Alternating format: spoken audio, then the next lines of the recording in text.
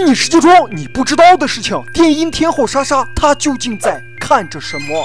你们看，她正在目视前方。小伙伴们，难道你们不好奇吗？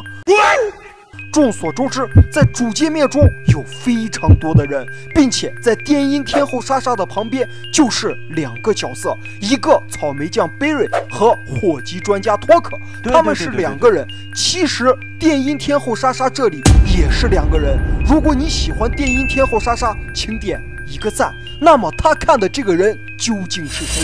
今天经过我和学姐的研究，我们发现电音天后莎莎有没有发现她戴了一副眼镜？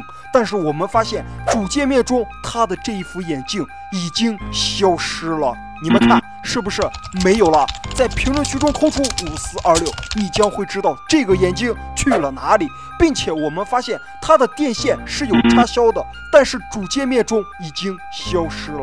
你们看。